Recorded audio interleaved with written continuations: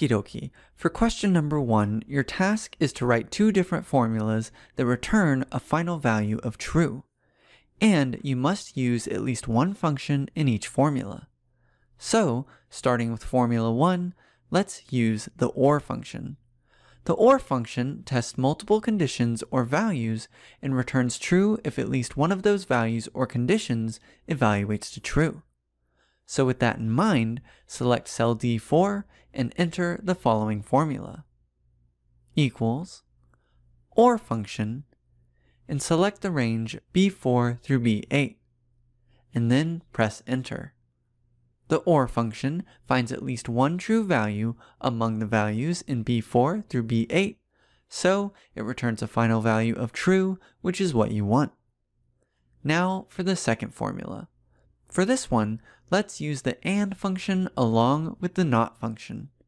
The AND function tests multiple conditions or values and returns true only if all of the values or conditions evaluate to true.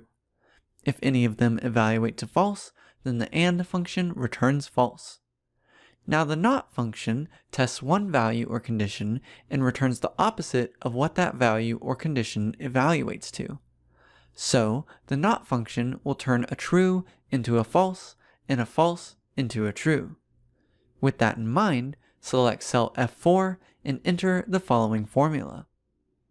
Equals NOT function AND function and select the range B4 through B8. Then close parentheses twice and press enter. The AND function finds at least one false value, so it returns false, and then the NOT function takes that false value and transforms it into a true value. And that completes question number one. Let's move on to question number two. For question 2, your task is to add a function to the formula in cell F5 to fix the error and return the value of not found. To solve this question, I recommend wrapping the current formula within the if IFNA function. This function checks for the NA error like we see here and returns a specific value if this error is encountered. And so, selecting cell F5, add the if IFNA function before the VLOOKUP function, and then add a comma at the end, type in the desired value in double quotes, and then add a closing parentheses. Once you press enter, you can see that the IFNA function catches the NA error generated by the VLOOKUP function, and then it returns the value of not found instead. Awesome. That completes question two, so let's move on to question three.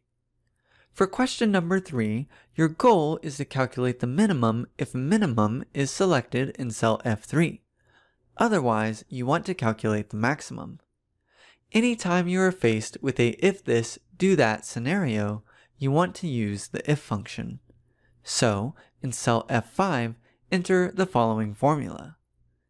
Equals if function select F3 equals minimum in quotes, comma, min function, select the total sales numbers, close parentheses, comma, max function, select the total sales numbers, close parentheses twice, and then enter.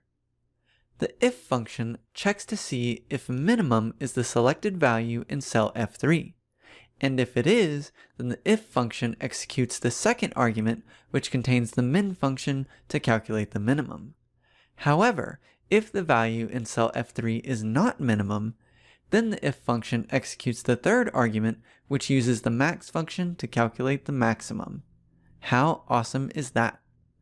Well, that completes question 3, so let's move on to question 4.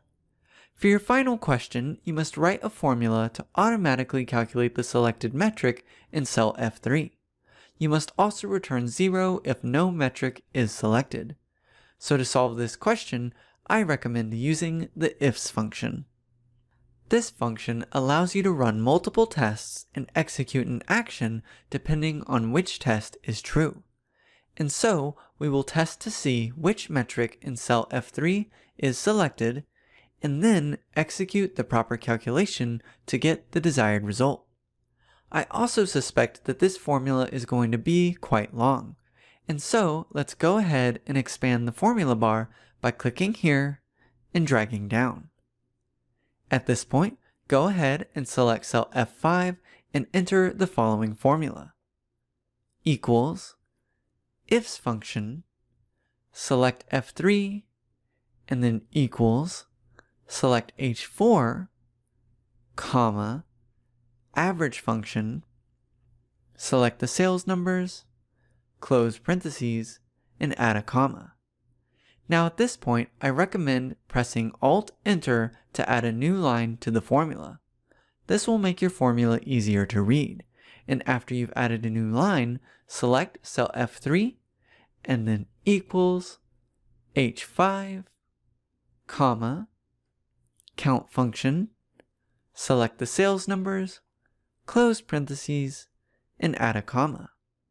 And then insert a new line, and then F3 equals H6, comma, max function, select the sales numbers, close parentheses, comma, insert a new line, F3 equals H7, comma, min function, select the sales numbers, close parentheses, comma, insert a new line, F3 equals H8, comma, sum function, select the sales numbers, close parentheses, comma, insert a new line, 1, comma, 0, close parentheses, and enter.